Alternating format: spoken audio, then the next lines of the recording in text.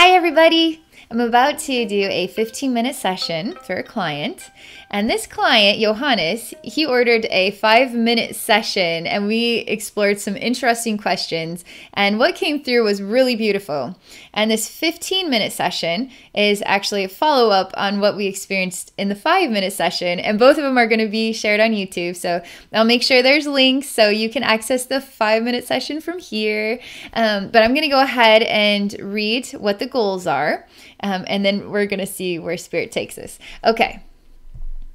All right, so in the five minute session, I'm just going to let you know there is um, a part where I'm I'm standing on the edge of the universe, and there's northern lights and beautiful stars. And um, there's a part where a net is cast out to bring the northern lights and the stars closer. Um, so this net was not meant to be. And the request is okay, if I could teleport to a star. So I got in that you should teleport from the first star two more times instantly without knowing where you will go, then hold everything in place, kind of time loopy, and explore what is there. so I'm going to do this, okay? Um, there's a few other goals, and I'm just going to merge them all together, and then we'll see where spirit takes us. So, so I would like to ask what kind of energy is around my face and shoulders, um, and indicating that I was right about the self imprisonment discovered in the five minute session. Um, it's very hard to break out from that. Also, I'm kind of stuck in between worlds and can be in the heart, but it's still kind of blocked. And my psychic vision is blocked too. Maybe you can experience that. As a child, I have memories in which I could see different dimensions, beings all around me. Now I am slowly starting to regain some visualizations, but it still seems to be very limited. So we're going to explore this stuff. We're just going to we're just going to put it all in there and then we'll see where spirit takes us. So just give me a moment here. Okay.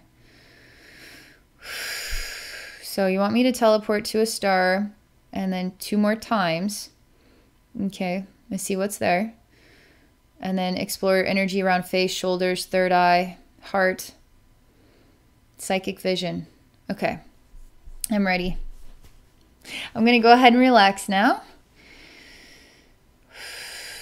Okay. I'm going back to the original scene from the five minute session and let's just see what happens here. Okay. So I just choose a star and then. All right, I'm, uh, I'm going into the star. Just give me a moment for information to come through. So I'm actually going to go through it twice, okay? which I've already done. So give me a moment. Okay, yeah, you're looking for a way out. So that space that I uh, that I experienced in the 5-minute session, that space was your imprisonment. And it was you that cast that net out there in order to um, solve this experience, in order to conquer this experience. Um, but it wasn't meant to be conquered in this way um, you because there is a, a riddle going on with you and the riddle is you have to find it inside of yourself so the imprisonment is not an experience that you are stuck in based on based on the world around you like i can't leave this place um, because you're always free when you go within your heart you have access to everything so when I do this, when I get to the star and I do it twice, your soul has already tried this, just so you know. But it's not going to work because you're in a riddle experience. So when I go there, it's all pure white. Um, and that's what is what happens, okay? I will help you solve this, just so you know. But I need to continue to follow this through. So give me a second to analyze what's going on. Yeah, you're still trying to project out there in order to find the answer where you need to project inside yourself. I mean, that is the biggest clue I can tell you. They are asking you to project inside yourself in order to get to where you want to go. So I'm going to try this again. I'm going to place the northern lights in the universe. This was so beautiful. I'm going to place that whole scene, which is standing at the edge of the universe and the stars and the northern lights. I'm going to take all of that and I'm going to put it inside of you. Then I'm going to have your consciousness dive within yourself and then see what happens, okay?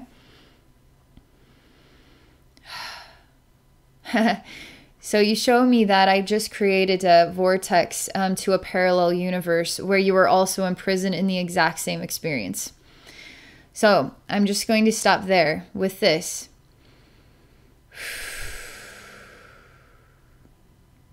I'm going to examine your energy field and then I'm going to let spirit share the next message related to the riddle, okay?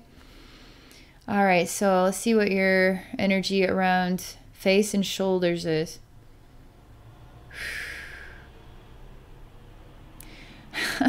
this is very strange. It's like somebody took a wet sponge and threw it at your face and it, it hits you in the face and then there's water actually kind of dripping down. It also reminds me of butter. I don't know why. It's got it looks also like melting butter dripping down your face and you have a major i mean if i'm looking at the bigger picture there's just a, a completely clear but it's it's like the the the um, density of plastic it's like a clear plastic egg. Um, so that's also around you. I need to remove that.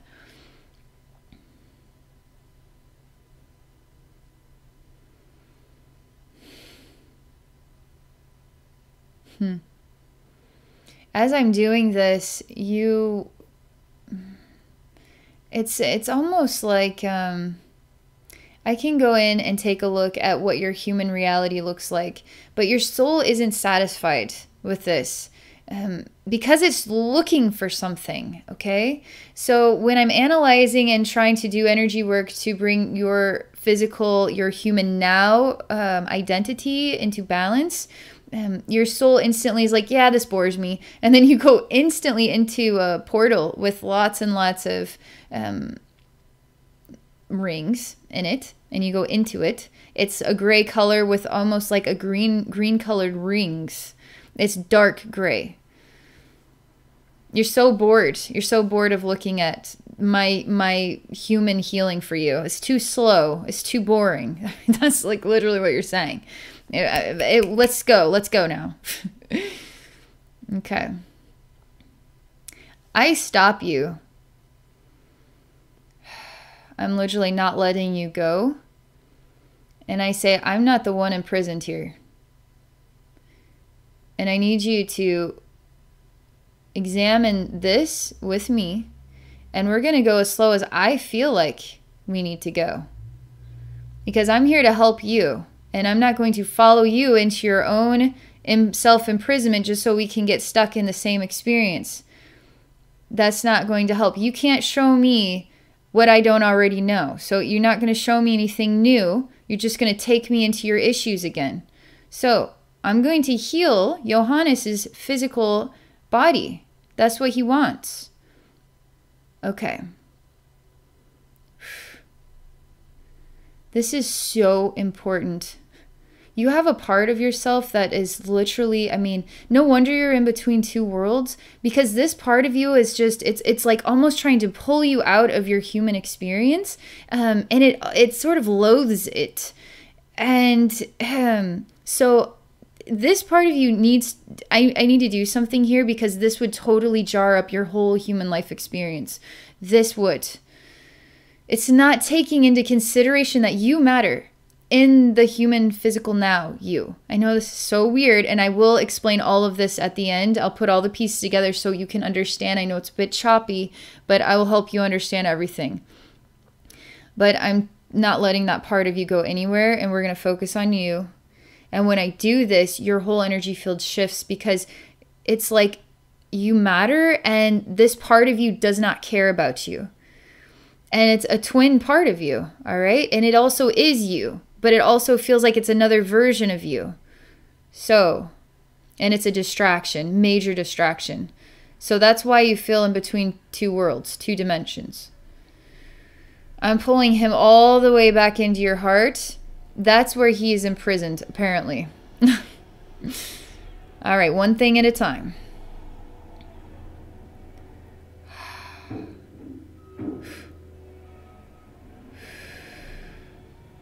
I'm touching your head because, yes, you do have major energy block around your third eye. You have major energy block here. Major. Why would that be? I'm putting my hand into your heart and on your head. So I'm just generating energy and I'm allowing this, these blocks to know that it is safe to let go now. And that we are going to talk to this other part of you because this this whole thing has to come into balance.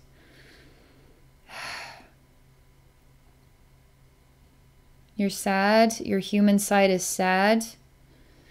Um, and when you cry, it's like black tears and you say that you're imprisoned. And it's worse than just a plastic clear egg that you're imprisoned in. And it's almost like you're imprisoned within this part of you that's trying to get out all the time.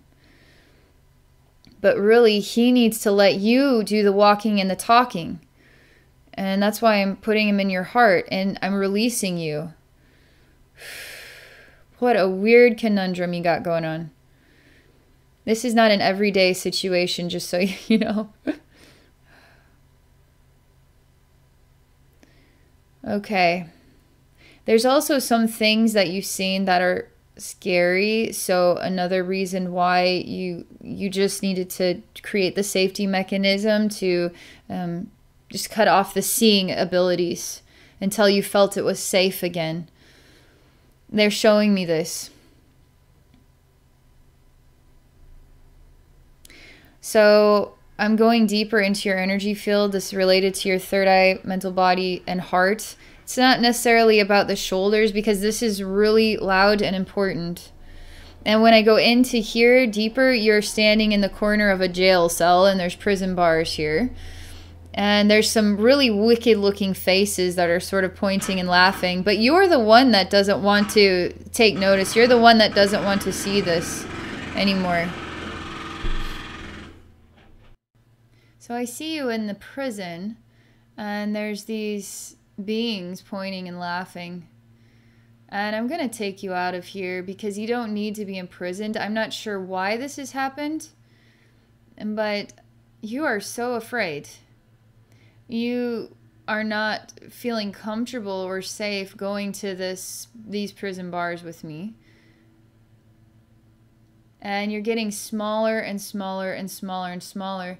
And believe it or not, when I pick you up, you weigh like the weight of the universe is how much you weigh. So you're making it so I can't pick you up.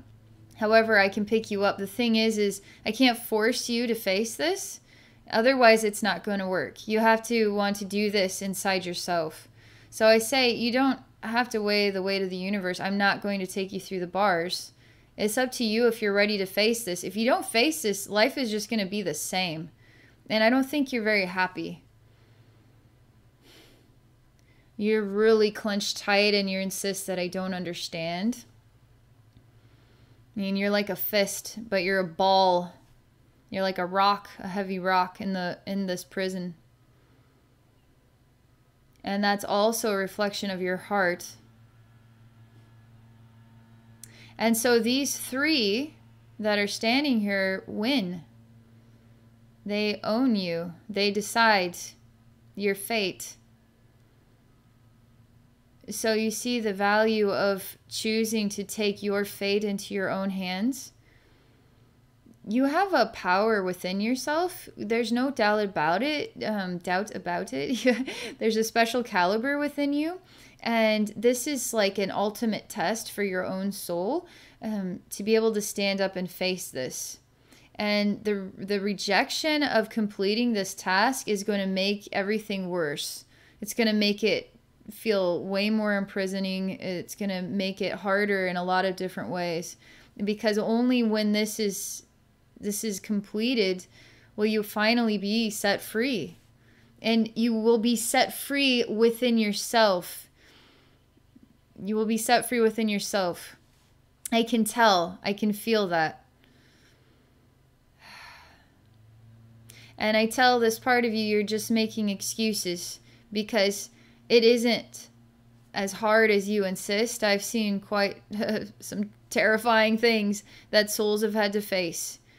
And we can do this together. There's not a single thing in this universe that I can't face with you. You don't have to do it alone. wow, major distortion. Now, this here is around the shoulders. This here is in the lower back of the head. It almost makes me feel shaky down the neck and the shoulders, and it's heavy, heavy weight. And it almost feels like a stiff neck, too. Pain in the shoulders. It feels tight. It's all related to this. You are finding the strength, actually. Say, if you can weigh the weight of the universe, you can find the strength to face these three. They're they're weak. They're pathetic. They're testing you, and you're letting them get away with whatever they want. You're getting stronger. You pull the weight of the universe into yourself. Use that as your your power, your foundation, your grounding, your truth. You relate to this. You are actually doing that. You're pulling more of the universe inside yourself. That's what this is all about, you see? Northern lights and the and the stars, but you have to pull it within yourself. The net, the something about the net. This is very very interesting. You're just pulling all this energy within yourself.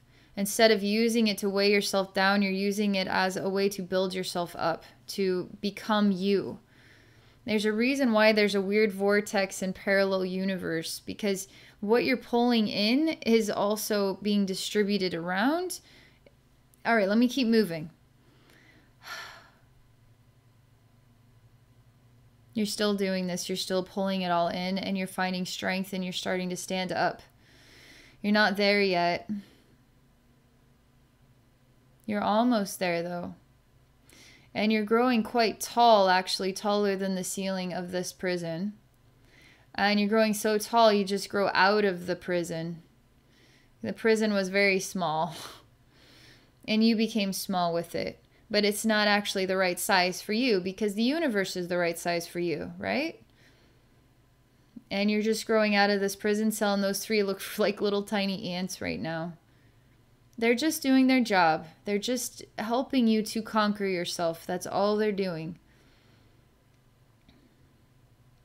And you actually start to materialize so that you can become part of the whole universe all the stars and the northern lights and the planets and everything. You actually become you disperse yourself into everything and then you become the universe. You become the whole universe. That this is important too because there's something to the parallel universe thing because it feels like even the universe isn't big enough for you. So you want to be more you want to be connected to more than just the one universe. It's too small. It's too small but this then becomes a problem because now you are dissatisfied. Now we're starting to get to know that other side of you who gets bored. Um, nothing will ever really satisfy that side of you. I, you know the saying where um, you know if you can't practice yoga for one hour a day, then you need to practice yoga for two hours a day, because people who are too busy for yoga, they actually need to learn how to slow down in order to get more done. So this busybody who is bored, puff, you know, don't need any more of this human stuff. It's too slow, too boring. But even when I expand this other part of you to the edges of the universe, you want more universes. You want more, more, more, more, more, more, more, more, more, more, more, more, more, forever and ever and ever and ever. It's not healthy. It's totally out of balance. And that reminds me of the other part of you that is he needs more. You know, he's bored. So he needs to do yoga for two hours a day. Instead of one hour a day. He needs to slow down. He needs to slow down.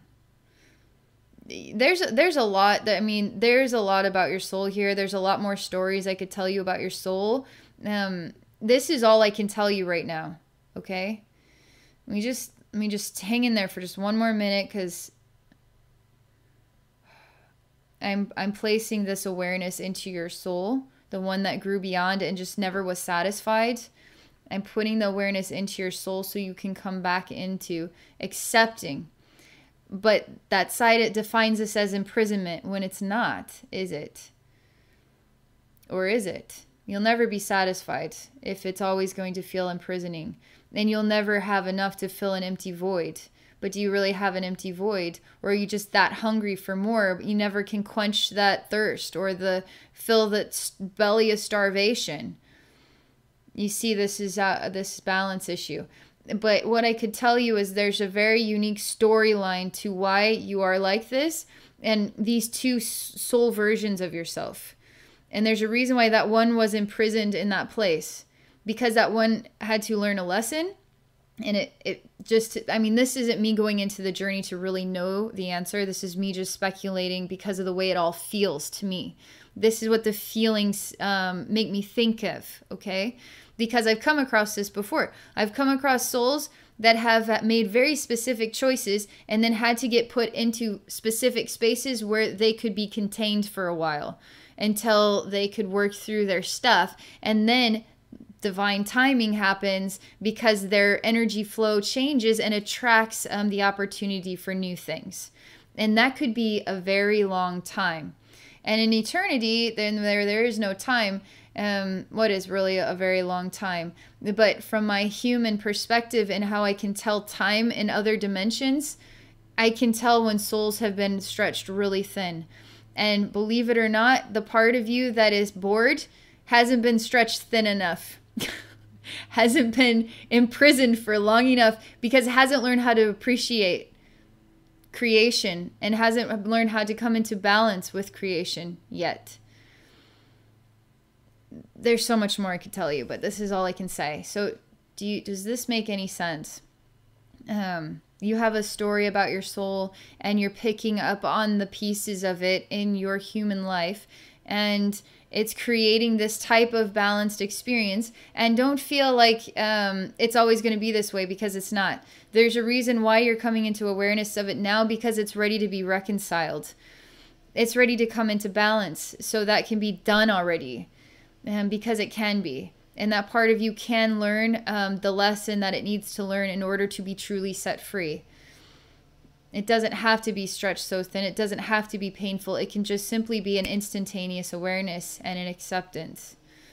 So, if you want to do more energy work, another 15 minute session would give me a chance to really look into this some more, but this should help. The energy work alone is going to shift your energy field is going to give you more of a perspective and awareness and and help you to come into a safety and and a readiness to see again okay all right. Thank you so much for this very interesting experience, one of a kind experience. So, again, I'm going to put a link to the five minute session in the description, so check it out.